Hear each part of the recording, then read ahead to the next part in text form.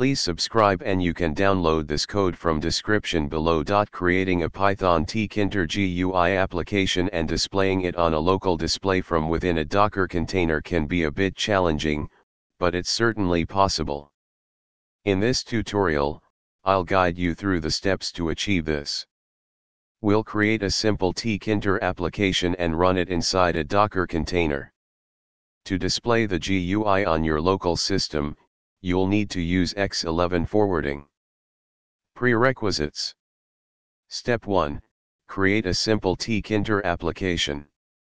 Create a Python script that generates a basic tkinter GUI application. Here's an example script, save it as tkinter underscore app.py. Step 2 Create a Docker file. Now, let's create a Docker file to package your tkinter application. Create a file named Dockerfile with the following content. This Docker file uses an official Python 3.8 image, installs Python 3 TK for tkinter support, sets the display environment variable, copies your tkinter script into the container, and specifies the command to run the application. Step 3, build the Docker image. Open your terminal and navigate to the directory containing the Docker file and tkinter underscore app.py. Run the following command to build the Docker image.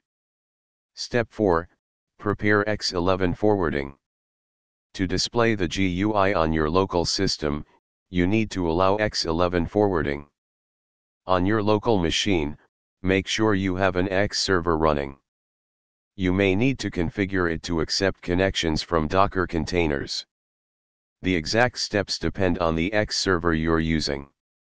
For example, with X Quartz on Mac OS, you should enable the Allow Connections from Network Clients option. Step 5, Run the Docker container. Now, you can run the Docker container and display the tkinter GUI on your local system. Use the following command. The tkinter GUI should now appear on your local display. You can interact with it as if it were a native application. This tutorial guides you through creating a tkinter GUI application and running it in a Docker container while displaying the GUI on your local system. With X11 forwarding and the right setup, you can develop and test GUI applications within Docker containers more easily. ChatGPT